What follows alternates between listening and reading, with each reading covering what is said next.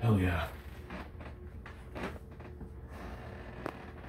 Your eyes aren't deceiving you. Trent Plazma's here, and he's got something to say. Something big in the air. Some kind of tension flowing through my veins.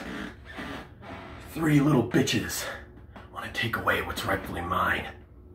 And something monumental, something never before seen in WIF is going down. We got the Trash Man, we got Jack Savage, and we got the Dragon.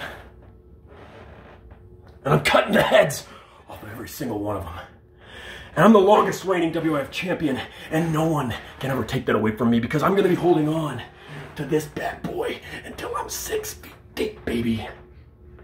Trent Plazma, season five of WIF.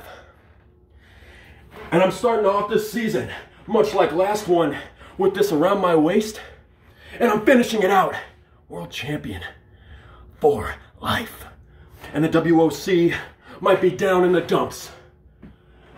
Trash Man might be rising through the ranks, and Jack Savage might have a chip on his shoulder, but I'm not gonna let that get to me.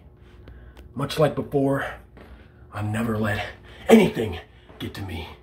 Trent Plazma is the franchise of WIF, and I've got the gold to prove it. Devin W., you say that you have something to take me out You've got something going through your mind, something going through your heart, some kind of fighting spirit, and you say that you're the ace of WIF. And once I take out Jack Savage and the gauntlet match, and I eliminate the trash man, it's gonna be coming, coming down to you and me, much like it has been many times before. I'm gonna prove to the world, prove to myself, and prove to you that I am the best in the world, the best of the best. And Trent Plazma ain't no bitch. And that's that.